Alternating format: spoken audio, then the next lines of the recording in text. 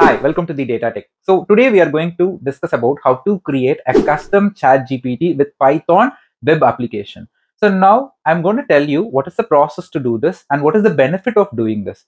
So first of all, when you are trying to interact with OpenAI chat GPT via and coding like Python or Java, you need an API support from OpenAI and this api support is not free because openai provide their ai as a service okay? So you have to buy that api key. Minimum you have to pay five dollars okay? So today i have already paid five dollars to show this particular exercise as a demo to you. So openai they are providing their api key as a paid service. After creating the api key you can able to use python java or scala to develop your own custom applications or you can even integrate web application to it now I'll be telling you what is the purpose of creating custom chat GPT and so already we have the free chat GPT service. So free chat GPT service has a limitation. So that is first reason. And second, you have your own enterprise or a company and your company is based on marketing related company. Now imagine you have to give an AI chatbot to your employees. So whatever the marketing related questions they ask, they have to get the answer from the AI. So in that case, you have to build your own custom chat GPT with the help of open AI service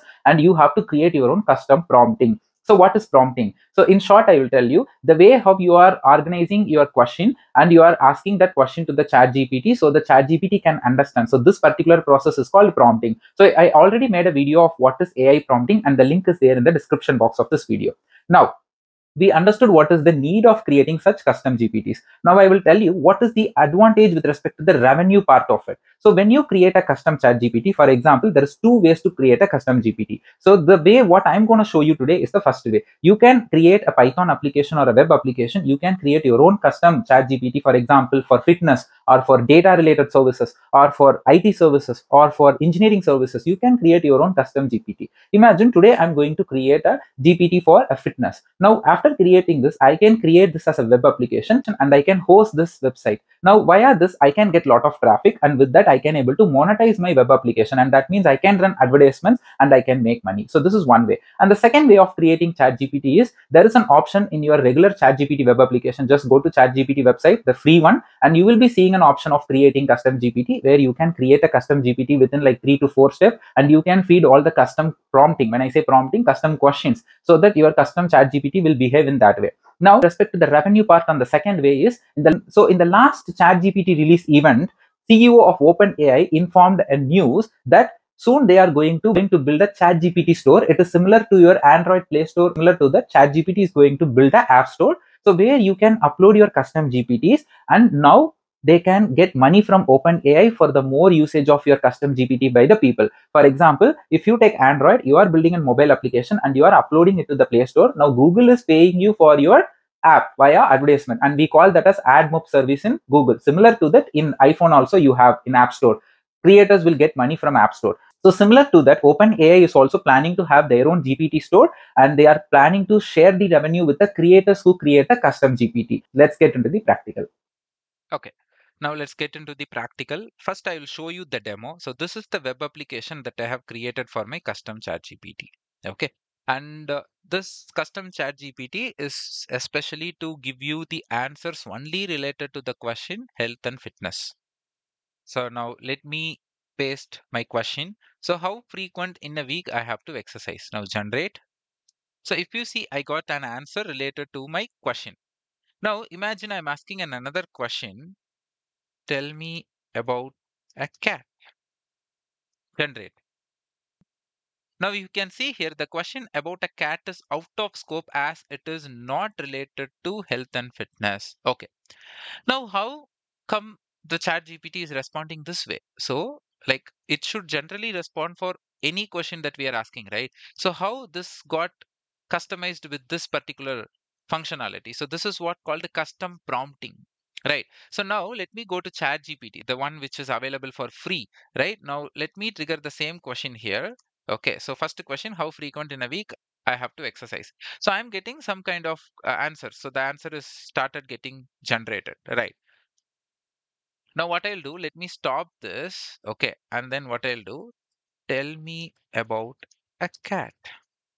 Now this chat gpt will respond me for this question as well because this is not prompted in a custom way but it is possible to do here also. You can even make this free available chat GPT also uh, to answer in a custom way. You can able to do a custom prompting. Okay. So you know something that there is a course available in internet in the world of internet like how to speak with ai application. And that is what called prompting. So they are selling courses for ai prompting so in I have done two things to make my uh, custom GPT unique from the general GPT. The first thing I have made a custom prompting. This is the heart recipe of this video. I'll show you that. And the second thing is I have developed a web application, right? So you can see here. Right. I created a web application and I've customized by making a custom prompting. So the custom prompting even you can do for the general chat GPT which is available, but I'm just telling you the importance of prompting. Okay, fine. Now let's jump into the code. So before getting into the code, let me show you the website platform.openai.com. I told you to generate an API key and then only this exercise is possible. So you can see here, I just uh, increased my limit to five dollar. I paid five dollar to OpenAI, and I used 0.03 dollars only. I ran this application many times with a different question, but still uh, they charged me 0.03 only so you can able to pay for this at least for some practice purpose you can pay and you can have it for some time. And you can see like i have my api keys here. You can able to generate the api keys only you have some credit limits. Fine. So now you can click this create new secret key. Just create it and then you have to use that. Without creating an api key or with wrong api key when you run the code the code will not work. Fine. Let me jump into the code. Okay. So now you have to create .env file. Okay, in this file, you have to create a key as OpenAI API key equal to, and the value is the key which you created in the OpenAI website. Just paste it here, copy there, generate there, copy it, and then paste it here. So I'm just keeping it as a separate file by creating .env file. Now, I have two more files, ChatGPT app.py and the web interface.py. I'll show you what framework I used to create such web application also. First, let's go to ChatGPT app.py. So here, first thing I have to import this OpenAI import and then OS. And this is very important .env load .env because I have .env file which has some information required for my code. So I have to load that here. So this particular library, what it will do, it will search for .env file and then it will load it to the program wherever you invoke this load .env function. So next, this line is so important. Client equal to OpenAI API key os dot get env. So get env means you are getting the value from this dot .env file for the given key. So this given key should be same as what you have given inside this double quotes. Now I'm creating a function called a structure generator. I'm one parameter I'm getting to this function is prompt. So this prompt is nothing but the question that you are asking. So I have invoked this method. I'm using this method in webinterface.py. Let me show you when I come to that code. So first line is important. So chat completion equal to client.chat.completion.create. So this is something like where you are mentioning about the model of GPT you are going to use and the role you are going to use and your question. So here you have to create this message block and role equal to user. So in chat GPT, you have three roles, user, system, and then assistant. So here we are using user and content equal to prompt. Now model equal to chat GPT 3.5 turbo is free. So you can use it. If you use 4, then you have to pay for it. By the time 4 is not free. And then return chat completion. So now whenever I'm going to use this function, so so wherever I'm going to use this function, so it will be returning this functionality, the chat completion. Now, so now let me show you webinterface.py. So the web application framework, what I used is Streamlit. So Streamlit is a wonderful web application framework for Python and especially for data science and machine learning algorithms. Streamlit is a perfect place to create a web application. And you can see in my entire code, I'm not using any HTML tags or CSS or nothing, right? Because Streamlit is taken care of. So Streamlit is taking care of everything. I don't want to do any type of designs here. Okay. So now I have to use this. So you have to install this and so the next is you have to import your chat GPT app code. So which is the code what you have written here. I'm just importing and I'm just invoking the function structure generator. So this one also I'm just referring here. So now I create a main method. Now st, st is nothing but the object name of Streamlit. So which we have given here. So st dot title. Let me go back to the web UI. So you can see there is a title here called fitness, right? So st.title, whatever you give here, you will be seeing here in the title tab. So whatever you give here, you will be seeing that in the title place. And then you can see st.write. It's like you are writing something on the web application. So you can see this generate health and fitness based information on a given topic using custom GPT AI. You can see the same line here. Okay. And then user input equal to st.text input enter the topic dot dot dot now you can able to see the same here enter the topic let me refresh this you can see here enter the topic and dot dot dot in the text box. So this text input will generate a text box for you. Fine. And then if st button generate so i have a button here and that has a label called generate. So if st dot button generate when someone clicks that button so the next thing is prompt. So prompt equal to so here comes the prompt. So you will be typing some question here right? So that question comes and gets stored in this variable user input. Now let me show you. If you see the end of line of this prompt equal to line I'm passing this user input.